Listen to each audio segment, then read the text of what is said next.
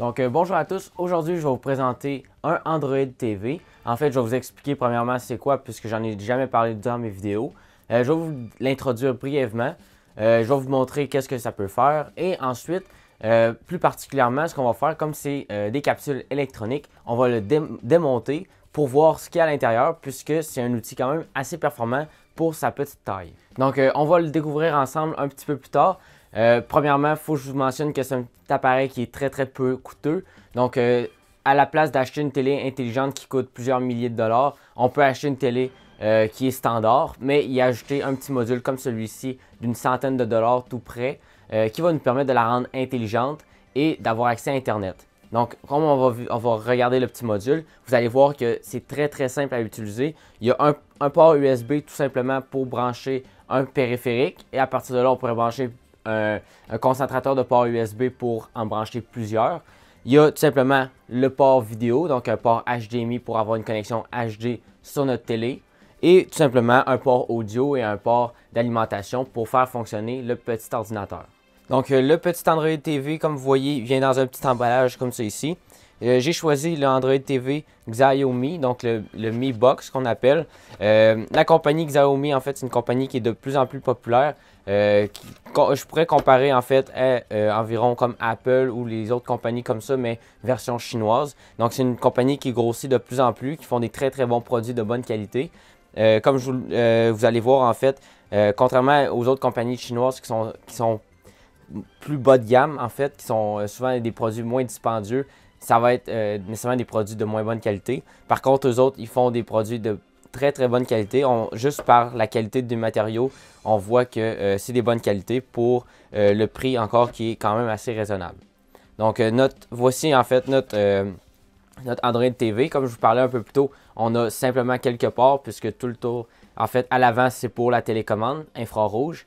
Et de chaque côté, il n'y a rien. Il y a tout juste un port ici pour l'alimentation, USB, HDMI et un port audio. Donc, euh, dans notre cas, on va brancher un clavier, euh, ben même pas, puisque euh, l'Android TV, à, l'intérieur, il y a un module Bluetooth qu'on va découvrir un peu plus tard lorsqu'on va ouvrir l'Android TV. Mais on va connecter un clavier Bluetooth pour pouvoir aller sur Internet, pouvoir faire des recherches, aller sur YouTube, etc. Donc, on va maintenant ouvrir la boîte pour voir ce qu'il y a à l'intérieur. Et comme vous allez voir, c'est c'est assez simpliste puisque la boîtier en tant que telle fonctionne par lui-même. Donc, on n'a pas besoin de beaucoup, beaucoup de périphériques. Donc, on a la télécommande, comme je vous parlais, pour euh, infrarouge ici, pour euh, changer les postes, accéder au menu, etc.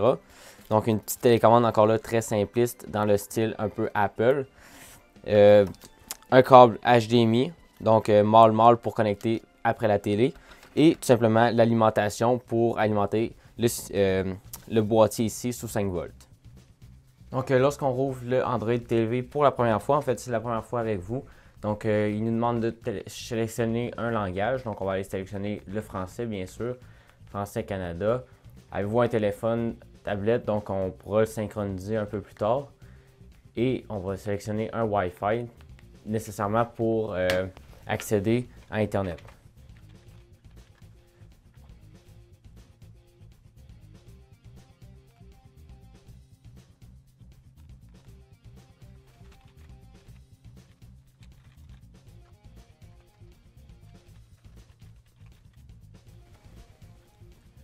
Donc euh, maintenant, on se connecte avec notre compte Google. Donc, euh, puisque c'est un système Android, Android qui est fait avec Google, donc euh, ça va nous permettre d'utiliser le système qui est sur l'Android TV avec notre compte, un compte lié en fait, qui est notre compte Google. Configuration est terminée. Donc, on va pouvoir passer au menu. En fait, comme vous voyez, ça fait vraiment un menu Android. Donc, on a l'heure, les settings, tout ça. Euh, là, il va falloir voir comment ça fonctionne. Donc, un petit démarrage pour euh, le temps de télécharger toutes les applications, en fait, l'interface principalement. Et il euh, faut savoir que présentement, on est connecté sur un écran via HDMI. donc, ça va nous permettre d'avoir nécessairement vraiment comme un téléphone intelligent avec, comme je l'avais dit, des films, puisqu'on a accès à Google, que ce soit Netflix, la TV, on pourrait installer des jeux. Euh, puisqu'on a euh, Google Play qui va nous mener carrément au Google Store ou Play Store et euh, qu'on va pouvoir télécharger des jeux. Donc on va maintenant ouvrir le boîtier pour voir ce qu'il y a à l'intérieur, puisque c'est ce qui nous intéresse plus particulièrement dans mes vidéos d'électronique, c'est de découvrir ce qu'il y a à l'intérieur des choses communes qu'on retrouve dans les appareils. comme je vous ai présenté, c'est carrément un petit ordinateur, donc on s'attend à avoir un processeur, de la mémoire RAM, de la mémoire ROM. Nécessairement, il va avoir un module Bluetooth, Wi-Fi, etc. Donc, euh, j'ai déjà ouvert le boîtier puisque euh, c'est un boîtier sans vis, donc on a simplement euh, à enlever les petites clips avec un outil souvent très très plat. Donc soit un petit pic, un petit, en plastique principalement pour ne pas briser les pourtours de notre boîtier. Et par pression, on va pouvoir décoller le contour et ça va nous permettre d'ouvrir le boîtier. Donc c'est vraiment un boîtier sans vis, on va pouvoir le replacer par après sans problème et ça ne paraîtra pas.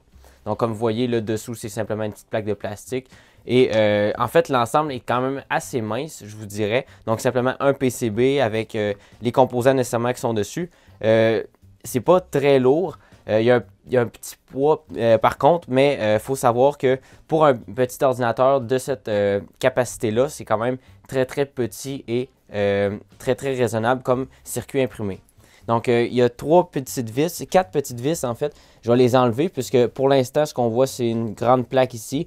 Euh, en fait, c'est une cage de Faraday pour euh, cacher l'électronique qui est en dessous, probablement le processeur ou euh, la mémoire, etc. Des composants qui sont plus sensibles en fait au bruit à haute fréquence, donc ils sont protégés. J'ai remarqué que je ne pouvais pas l'enlever puisqu'il est soudé tout le tour. Par contre, je vais dévisser les quatre vis et en espérant pouvoir voir plus de composants de l'autre côté. Donc, euh, j'ai retiré le circuit maintenant du deuxième ensemble.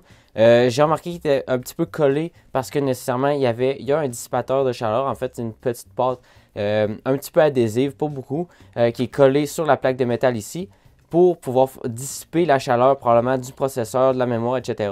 sur la plaque de métal. Donc, en fait, c'est la seule partie du boîtier qui a un certain poids puisque nécessairement, ça va euh, engendré euh, est quand même assez épaisse, la petite plaque. Mais lorsqu'on enlève ça, nécessairement, le circuit pèse absolument rien. Donc, euh, dans tout le boîtier, c'était, ça ici qui avait le plus gros poids. Donc, nécessairement, lorsqu'on rouvre ça, on se rend compte que, justement, on a une petite boîte thermique ici pour dissiper la chaleur. on a encore un boîtier ici de, de cage Faraday pour éliminer le bruit du processeur, de la mémoire, etc. On remarque aussi les quatre ports de connexion, euh, l'alimentation ici, le USB, HDMI et audio. On a une autre cage Faraday, probablement pour le Wi-Fi dans ce cas-ci, puisque on a énormément de, points de connexion dans ce coin-ci pour le Wi-Fi et on a une petite borne ici de connexion aussi pour le, euh, Wi-Fi. On voit ici que c'est une antenne, puisqu'elle est, séparée par le, le, PCB. En fait, sur le PCB, c'est une euh, plaque un peu euh, différente, donc a été mise à part. Ça fait carrément l'antenne ici intégrée au PCB. Et euh, je vais vérifier si on peut enlever les deux petites plaques ici. Sinon, euh, on va déduire qu'ici on a notre processeur. Il faut savoir que sur ce circuit-là, il y a un processeur de 2 GHz. Donc c'est quand même très très très bien pour un petit boîtier comme ça qui, qui fonctionne très bien. On a de la mémoire RAM. On a en fait 2 GB de mémoire RAM et on a 8 GB de ROM. Donc euh, tout ça est à l'intérieur, ça fonctionne très bien, euh, comme vous avez vu tout à l'heure en fait. Et on a le petit capteur ici, infrarouge, pour euh, capter avec la télécommande. Donc j'ai été capable d'enlever la petite plaque en fait sur le, circuit. C'est une petite plaque avec la, la, porte thermique ici. Comme vous voyez, il y en a aussi de ce côté-là pour coller sur le dissipateur pour être certain que la chaleur reste pas à l'intérieur mais soit dissipée correctement. Donc, on remarque très bien que ça ici, c'est notre processeur, puisque, euh, comme vous voyez, il y a énormément de connexions sur le PCB qui vont alentour. Il est quand même marqué quad-core, donc on sait que c'est un processeur 4 cœurs. Euh, on a notre mémoire de ce côté-ci et on a une autre, un autre système de mémoire ici. Euh, probablement ici, ça c'est la mémoire ROM. Il faudrait vérifier. Et ici, la mémoire RAM. donc, on aurait deux blocs ici de mémoire, donc probablement 4 GB, 4 GB. Et ici, on aurait une mémoire RAM. Donc, euh, ça, c'est notre processeur ici. Comme vous voyez, c'est des énormément petits composants. Euh, très, très, très petits, comme je l'avais dit, dans une cage à Faraday pour euh, diminuer le risque de bruit, interférence, etc. Donc, et la petite plaque, en fait, n'était pas soudée, était juste appuyée, donc insérée par pression. Donc, je me suis aperçu qu'ici, on avait notre processeur, de la mémoire ici et ici. Mais ces deux circuits-là, en fait, on en a exactement des pareils de ce côté-ci. Donc, c'est probablement notre mémoire ROM, en fait, euh, qui se trouve ici. Donc, on en a de ce côté-là, de l'autre côté aussi. Et comme vous voyez ici, il y a énormément de condensateurs. C'est tout simplement pour le processeur, puisqu'il faut avoir une alimentation très, très stable. Euh, donc, juste en dessous du processeur, ils mettent énormément de condensateurs, des très, très petits condensateurs pour filtrer le bruit, en plus des deux cages de Faraday, comme vous voyez, qui sont superposées. Euh, au-dessus euh, du processeur, de la mémoire, euh, pour protéger encore là immunité au bruit. Comme vous voyez, on a ici le circuit pour le HDMI, le circuit Bluetooth et Wi-Fi comme je parlais tout à l'heure avec l'antenne. Et on a là un petit circuit ici probablement pour l'alimentation, puisque lorsqu'on voit des inducteurs ici comme c'est ici, placés sous ce format-là, c'est sûrement pour l'alimentation ici du processeur. Donc, euh, pour plus d'informations sur euh, le Android TV que je vous ai présenté aujourd'hui, qu'on a fait le, désassemblage durant la vidéo, euh, rendez-vous dans la description. En fait, toutes les informations sont dans la description de cette vidéo-ci. Les liens d'achat et plusieurs autres informations sur le modèle que j'ai choisi d'Android TV. Et pour plus de vidéos, plus de projets, rendez-vous aussi sur pbelectronique.com.